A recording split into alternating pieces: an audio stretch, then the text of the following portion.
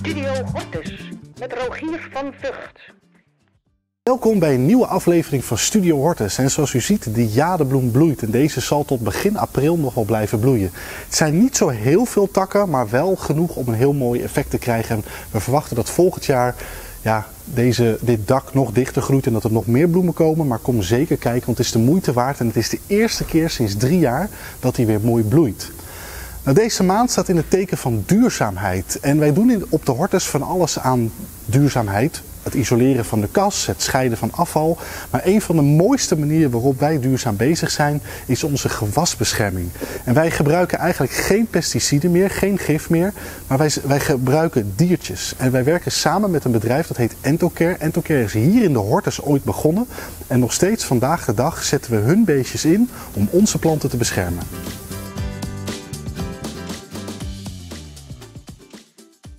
We zijn vandaag bij Entocare. Entocare is een bedrijf waar wij als Hortus al jarenlang mee samenwerken. Zij produceren voor ons de biologische bestrijding in de vorm van kleine insectjes. Die worden hier gekweekt. En we gaan vandaag een bestelling eh, ophalen. Wij vinden het als Hortus natuurlijk hartstikke belangrijk om biologische bestrijding te doen. We willen liefst geen gif.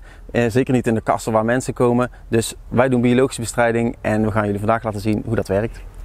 Nou, we worden hier vandaag dus bij Entocare uh, welkom geheten door Madelie Hennekam. Um, heeft een uh, hele mooie proefopstelling uh, weggezet voor ons met een aantal van de insectjes die ze hier kweken. En nou ja, daar wil ik graag wat meer over weten, dus misschien kun je ons iets vertellen. Voor ons is het heel leuk om jullie nu een keer hier te hebben. Wij zijn vanuit Leiden een jaar of twintig, als ik me niet vergis, uh, vertrokken en hier in Wageningen terechtgekomen. Sindsdien reis ik altijd weer terug naar Leiden om bij jullie wat dingen in de hortus te doen. Nu komen jullie bij ons een keertje om te kijken wat wij doen. Dat vind ik op ja. zich wel heel erg leuk. Uh, dus we kweken in dit gebouw kweken wij allerlei soorten insecten. En die gebruiken we bij jullie om de plagen op de planten in de kassen onder controle te houden, zodat dat geen enorme plagen worden waardoor de planten daar last van hebben. Ja. Je hebt daar heel veel verschillende planten en hele rare, unieke, ja. bijzondere planten vanuit allerlei plekken op de wereld. En met die planten mee heb je natuurlijk allerlei unieke, bijzondere plaaginsecten ja. meegekregen. Wilde je niet natuurlijk, maar dit is wel gebeurd. Ja. En juist voor dat soort hele specifieke, bijzondere plagen hebben wij onze specifieke producten. Ik heb wat uh, verschillende soorten voorbeelden eigenlijk van de lieveheersbeestjes die wij hier kweken. Super. Heb ik voor jullie bij elkaar gezet. Ja. Eigenlijk vooral om ook te laten zien dat het veel meer is dan alleen dat ene lieveheersbeestje wat je soms wel eens buiten ziet. Ja. Als je bladluis hebt op je rozen, dan komen daar lieveheersbeestjes op af. Dat is een inheemse soort in Nederland. Maar om de plagen in zo'n botanische tuin te bestrijden, in die kassen, heb je veel meer soorten lieveheersbeestjes nodig. Ja. Dus daar zijn hier een aantal voorbeelden van. Dit bijvoorbeeld, mm -hmm. dat is best een, een, grote soort. Dit is eigenlijk de grootste, degene die in Nederland buiten voorkomt. Oké. Okay. Dus dat is best een grote. Ja, dat is een flink uh, lieveheersbeestje. Dan pak ik eventjes het andere uiterste erbij. Dat zijn deze. Die zijn echt, dat zijn dus ook volwassen lieveheersbeestjes, maar ze zijn mini klein. Maar het zijn ook lieveheersbeestjes. Oké. Okay. En dus werken deze twee op uh, eenzelfde soort manier? Want ik begrijp dat natuurlijk uh, een, een, een wolluis wordt anders bestreden dan, uh, dan een dopluis of een schildluis natuurlijk. Dus hoe, hoe werken die verschillende bestrijders dan eigenlijk? Ja, de lieveheersbeestjes op zich zijn een groep die wij de roofvijanden noemen. Okay. Roofvijanden zorgen ervoor dat, of werken op een manier dat ze uh, de plaag van buitenaf eigenlijk aanvallen. Ja. Dus een lieveheersbeestje gaat op een bladluis af, gaat die bladluis van buitenaf helemaal opvreten. Bladluis is kapot, lieveheersbeestje heeft geen honger meer, gaat opnieuw eitjes leggen. Zo gaat uiteindelijk die hele cyclus door. Behalve deze roofvijanden hebben we ook nog een andere groep bestrijders. Dat zijn de zogenaamde sluipwespen. Okay. Die doen het eigenlijk veel geniepiger. Want wat doen die? Die gaan op een plaagbeest af, dus bijvoorbeeld ook een bladluis. En dan gaan ze niet van buitenaf die bladluis aanvallen. Nee, wat ze doen is ze leggen een eitje in die bladluis. Veel gruwelijker eigenlijk. Veel gruwelijker ja. eigenlijk. Dat eitje namelijk, dat gaat zich in die bladluis ontwikkelen. Daar komt dus een jonge larve ja. van die sluipwesp tevoorschijn en die begint daar in die bladluis. Die bladluis kan geen kant meer op. Mm -hmm. Binnenin begint hij dat zo lekker uit te knagen en op te eten. Dus dat is, als je je dat voorstelt, is dat best een gruwelijk. Ik zou niet met hem willen ruilen. Nee, precies.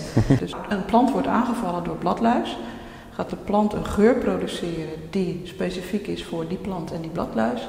En een sluipwesp die zit ergens meters verderop en die ruikt even ik. In de verte is er een aangetaste plant met bladluizen. Daar ben ik van afhankelijk. Die bladluis wil ik. Dus die gaat gericht op die geur af en gaat dan daar parasiteren. Het is ook wel heel erg mooi hoe dat dan toch allemaal werkt. Ja, zeker. Misschien is deze ook nog wel even leuk om iets beter te bekijken. Dat is ook echt een subtropisch beestje. Als je hem beter bekijkt zie je dat hij redelijk knalrood is. Ja, ik zie hem ja. Het lijkt een soort lieveheersbeestje ook Het inderdaad. is ook een lieveheersbeestje. Oh, oké, ja. Het is ook een lieveheersbeestje. We hebben dus eh, nou, een stuk of zes, zeven verschillende soorten hier in Kweek. En eh, dit lieveheersbeestje doet dus niks met bladluizen. Maar die doet iets met die luizen die daar in dat doosje erbij zitten. Oké. Dus het dus een heel specifieke relatie Ja. eigenlijk tussen dat lieveheersbeestje, die specifieke soort en die specifieke plaag. Eh, nu zie ik hier eigenlijk vier schaaltjes staan eh, met hele grote kakkerlakken erin en kleine sluipwespjes. Eh zit er eigenlijk een verband in? Kun je uitleggen wat die met elkaar te maken hebben? Zeker kan ik dat. Eh, dit zijn kakkerlakken die ook in de hortus voorkomen. Mhm. Het vervelende is dat die kakkerlakken aan de planten vreten. Dus als je er te veel Ja. hebt, heb je last aan de, aan de planten. Is het dus echt ook een plaag voor de planten. Dus eigenlijk kun je ze ook weer kwijt. Ja. Eh, wat die kakkerlakken doen om zich voor te planten is deze eipakketjes maken. Dit is dus een heel klein doosje, zeg maar, van pakweg een centimeter, waarin een stuk of 60 eitjes liggen van de kakkerlak. Oké. En die eitjes kunnen zich dan dus eh, in dat doosje voor een deel ontwikkelen. Ja.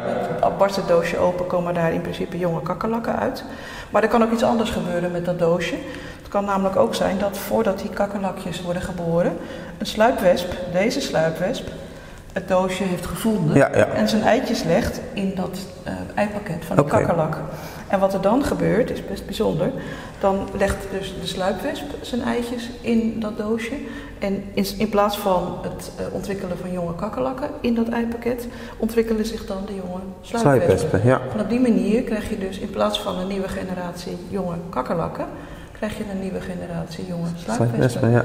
Dus dat hele kleine beestje hele is eigenlijk de beestjes. bestrijder van die hele grote kakkerlakken.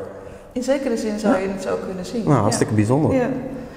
Uiteindelijk zit het er in één zo'n klein doosje van die kakkerlakken, dat eipakketje, zitten eh, pakweg 60, 70 van die jonge sluipwespen. Die zijn allemaal min of meer even oud, want ze worden op hetzelfde moment gelegd. Gelegd, de moeder legt één keer die eitjes erin.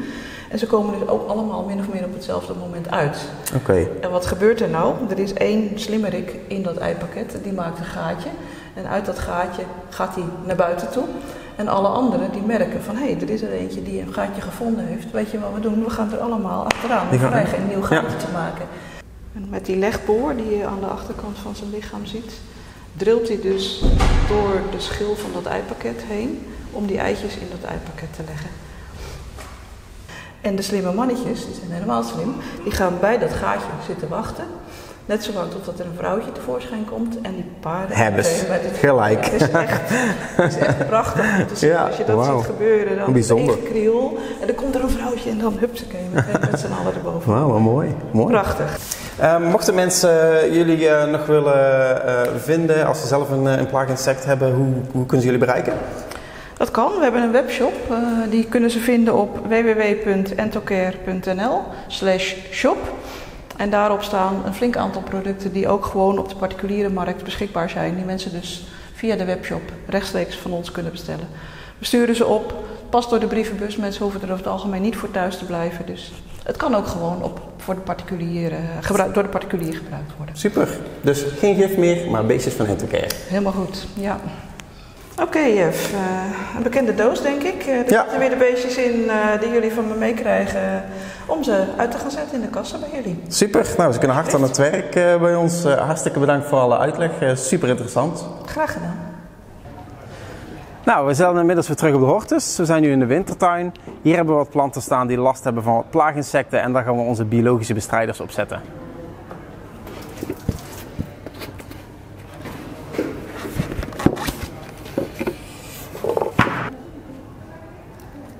Nou, dit zijn dus de larven van de Cryptolemus montrosieri. Eh, wij noemen ze eigenlijk gewoon crypto's. Het is een Australisch lieveheersbeestje en dit zijn dus de larven. En de larven van dit lieveheersbeestje eten dus de bolhuis.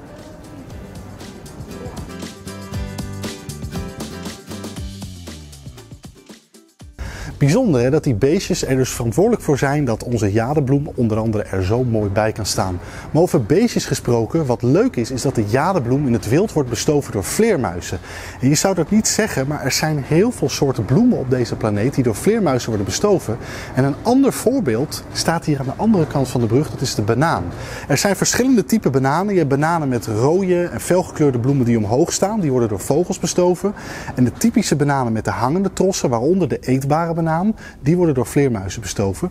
De eetbare banaan, die heeft een foutje waardoor die niet bestoven hoeft te worden en wel bananen maakt zonder zaden. Maar deze die hier staat, die moet helaas bestoven worden. En dat gebeurt hier niet, want we hebben geen vleermuizen in de kas. En daardoor hebben we aan deze banaan dus ook nog nooit één banaantje gezien. Hopelijk zien we u snel in de tuin of ziet u ons in de volgende aflevering van Studio Hortus.